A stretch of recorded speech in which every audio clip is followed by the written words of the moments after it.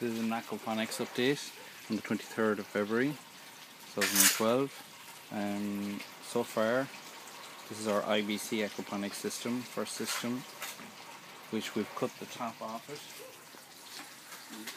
800 litres of water in the bottom, buried, so hopefully it will stop the system from freezing in winter and overheating in summer. We won't know until we try it. Um, the top half then we put growing media into it.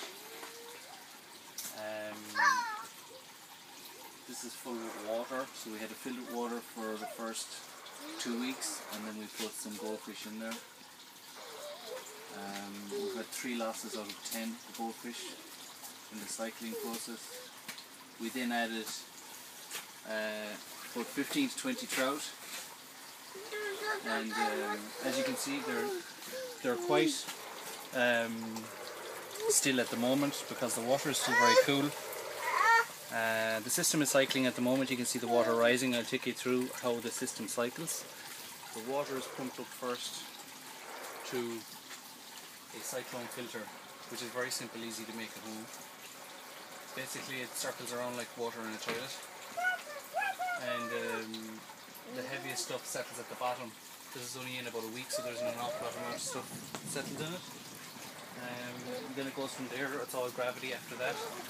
It feeds over to this unit here with sponge filters in it. The water then gravity feeds through that, takes all the solid material out of it and helps with the biological breakdown. It then flows in the white pipe down into the NFT channel where there's some salads, lettuces growing at the moment. And it flows from there, all using gravity, down into this vertical channel, down back into the main grow bed. There's some strawberry plants in here. And some strawberry plants in here. Spring onions, more strawberry plants. These are in now about a month in the system. We've had no losses, plant losses, uh, and they're all going very well. The rocket has gone to flower. Uh, even these strawberries have flowers coming out on them. You can see the strawberries, flowers coming out on them. Even though there isn't, the fish are very small, there isn't, from what we can see, isn't a huge amount of nutrients in the water. But the system cycles very well. When the water flows in here, you want the system to fill. This is flood and drain. You want the system to fill below the surface and you want it to flood as fast as possible using a bell siphon. Um, these are just emergency overflows in case something goes wrong. A lot of the piping that you see um, behind the vertical tower and a lot of the piping up here is emergency overflows. They're not in use, they're in case something along the way gets blocked. Um, the pump is in the is submersed.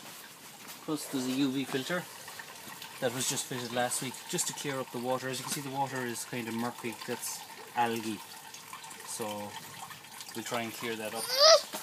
We try and feed the fish natural food.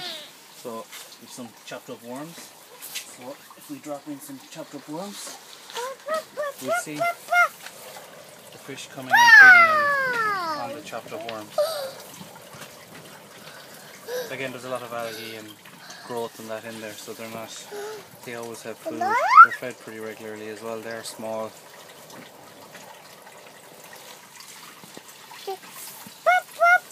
These are just garden worms.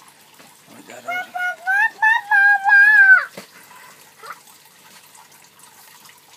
About 15 to 20 trout. There's seven goldfish, and there's two really small fish in there that I, I think we think are perch. I'm not quite sure what they are. They all seem to get along really well. Um, they're fed well. We do regular water changes as the system is new. We do regular water changes as we don't want the system to get high levels of ammonia for the start. And uh, everybody seems to be pretty happy. We're waiting for the temperature to rise really for the system to cycle properly. As the colder the water is, the slower the bacteria is breaking down everything. Um, as as you can see the water here. So this, this water has gone through the whole process of going through the vortex filter to take the biggest particles out, has gone through the sponge media in the white tub behind it, and has gone through the NFT channel and this vertical channel. And once it's gone through this whole lot here, it will flood straight down into the fish tank. This is our senior engineer for the whole system. Senior engineer and troublemaker. And that's the update.